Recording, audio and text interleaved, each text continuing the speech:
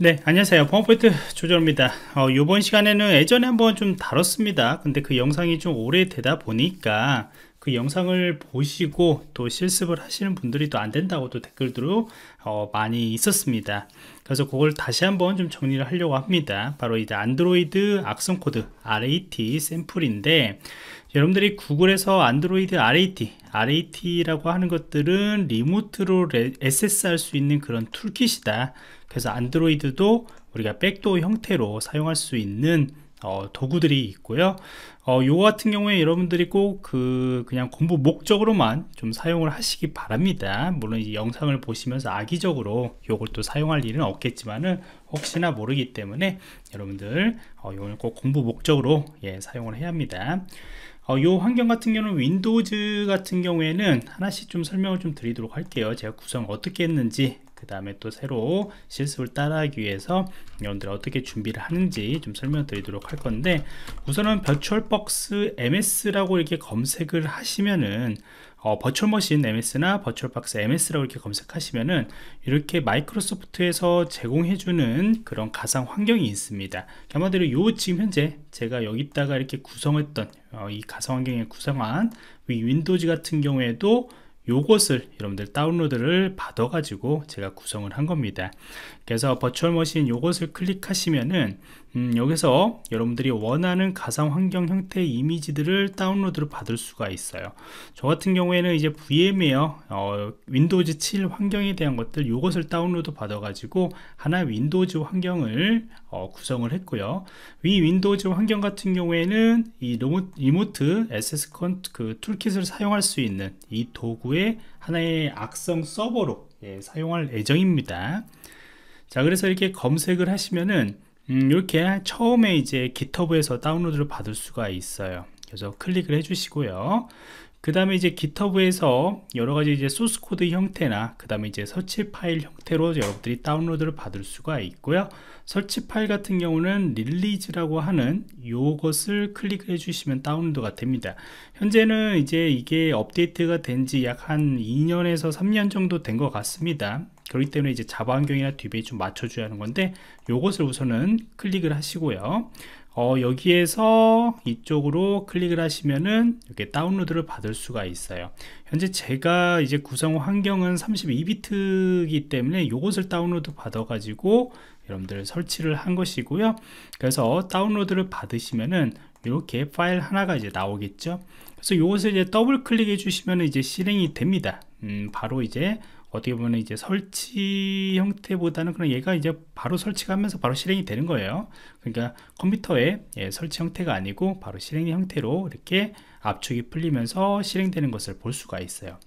요 실행까지는 어, 누구나 다 됩니다. 윈도우즈에서 설, 그 실행을 하시면 될 것 같고요.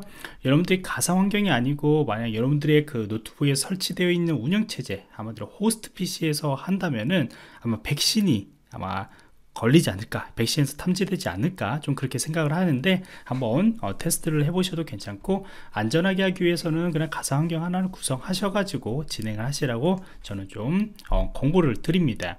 그리고 이제 APK builder를 통해 가지고 여러분들이 소스 IP만 여기다가 입력을 하시면은 어 이제 악성 코드 형태들을 다운 그 만들어낼 수가 있어요. 근데 이제 저 같은 경우는 환경 설정이 이미 다 되어 있는데 여러분 자, 윈도우즈 여러분들은 이제 윈도우즈 환경에 어떤 것을 설치해 주셔야 하냐면은 오, 그 오라클에서 배포하고 있는 자바 환경, JRE 환경을 여러분들 설치를 해 주셔야 돼요. 왜냐면은 이것이 이제 build를 할때 이 도구가 이 APK 파일을 build를 할 때 우리가 안드로이드가 이제 자바 프로그램으로 되어 있잖아요. 그러니까 자바 환경을 이제 맞춰줘야 하는 것이에요. 그런데 이제 어, 팔 환경도 된다고 저는 이제 좀 어, 이야기를 드렸, 들었는데 우선은 안전하기 위해서는 자바 7 다운로드라고 여러분들이 검색을 하시기 바랍니다. 이게 7 버전하고 이제 8 버전하고 또 사용 그런 프로그램에 사용하고 있는 그런 API나 그런 것들이 다르기 때문에 어, 이게 어떤 프로그램 위에서 만들어졌는지 그런 정보까지 나오면 좋은데 여기서는 좀 안 나와요. 안드로이드 RAT에서요. 그래서 여러분들이 안전하게 자바 7을 다운로드 받으시면 되는데 여기에서 자바 7 다운로드 검색을 하시고요 그 다음에 이쪽에서 여러분들이 요것은 JDK까지는 필요가 없고 아래쪽에 이제 runtime에 필요한 요것만 이제 다운로드를 받으시면 되는데 이게 좀 바뀌었어요. 음, 그래서 여기서 윈도우즈 버전에 맞게 저는 요 환경 같은 경우는 86, 아, X86, X86 형태의 그러한 어, 실행 파일을 다운로드를 받아야겠죠? 자 그래서 x86 다운로드를 여러분들이 어, exe 파일 요거죠. 요것을 다운로드 받아 가지고 여러분들 JRE를 설치를 해 주시면 됩니다. 그냥 설치만 해 주시면 돼요.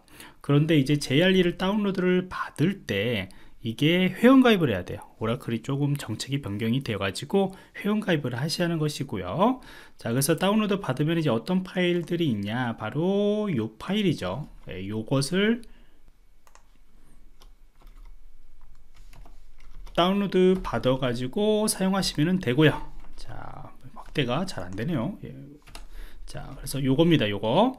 자 그 다음에 요것을 다 설치하시면은 여러분들 가상환경의 윈도우입니다. 게스트 OS 쪽에서 CMD를 열어 가지고 자바라고 이렇게 실행을 하시면은 정상적으로 이게 동작이 되셔야 합니다. 이게 어, 정상 그 자동으로 우리가 경로 패스를 좀 시스템 패스를 잡아준 것이고요.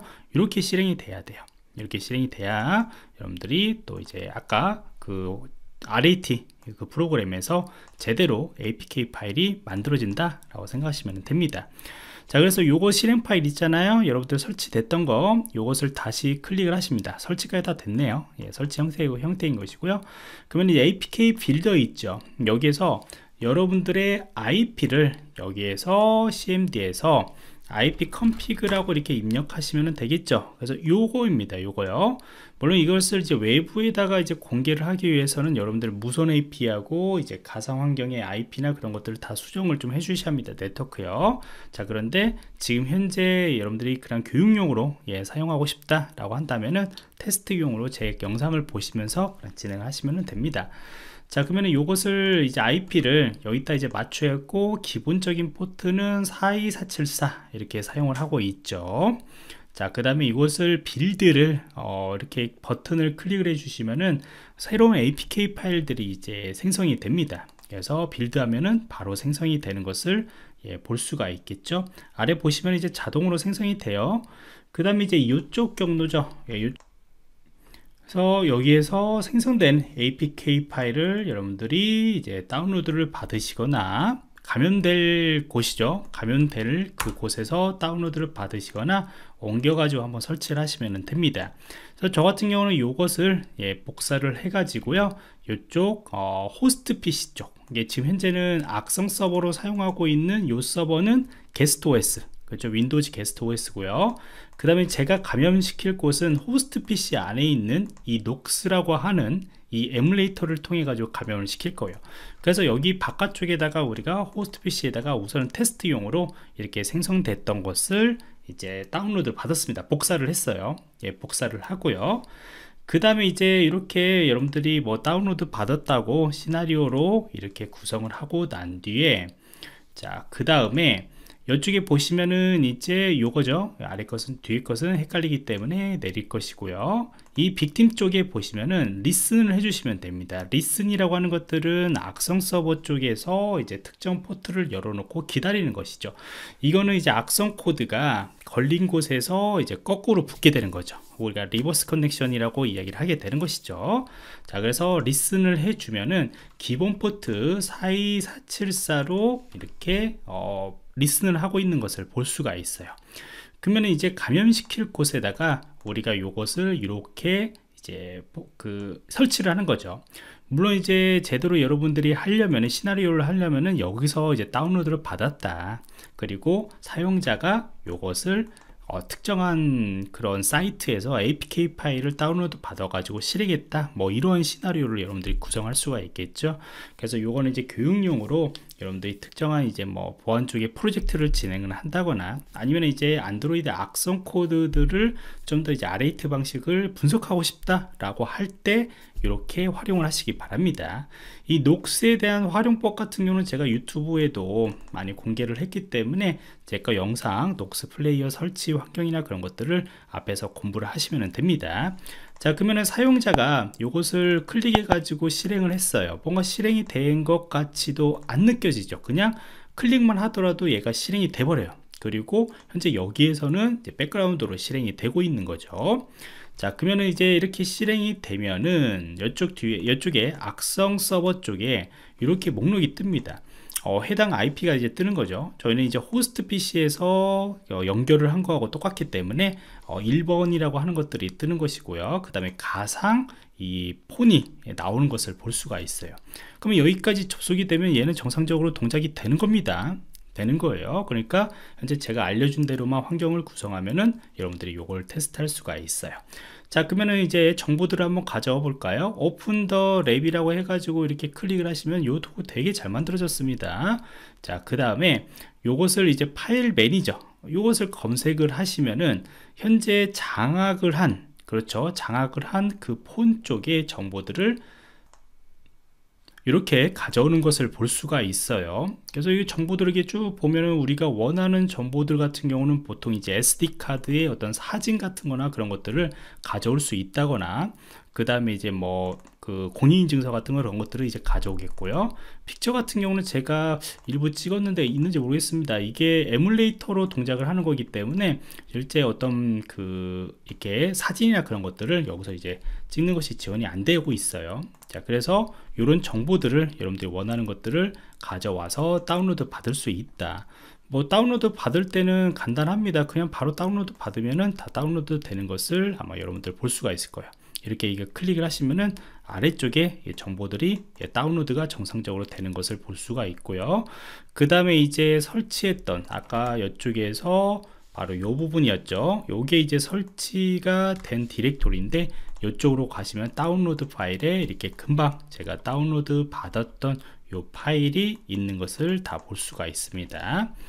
자그 다음에 이쪽에 로케이션 정보들이 있죠? 그래서 위치 정보죠. 사용자의 위치 정보들을 확인할 때도 제가 임의적으로 에뮬레이터에다가 어, 이 위치 정보들을 넣어 놨어요. 그러니까 이제 서울 쪽에 있는 위치 정보들이 예, 나오는 것을 볼 수가 있겠죠.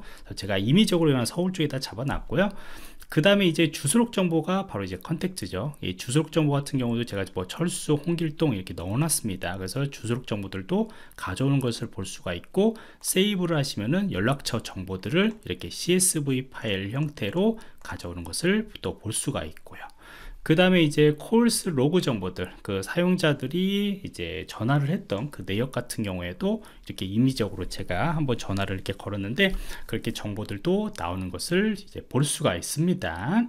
자 그래서 이제 안드로이드 RAT 같은 경우는 뭐 여러 가지 기터브에서도 공개가 되고 있어요. 네, 이것은 항상 제가 계속 지금 이제 강조를 하고 있지만은 여러분들이 학습 목적으로만 사용을 하셔야 하는 건다 그 다음에 이것뿐만 아니고 제가 뭐 항상 뭐그 제가 자주 소개하고 있는 어, 메타스포이트 프레임워크라고 하는 공격의 그 도구에서도 이렇게 안드로이드 RAT들을 또 제작을 할 수가 있습니다.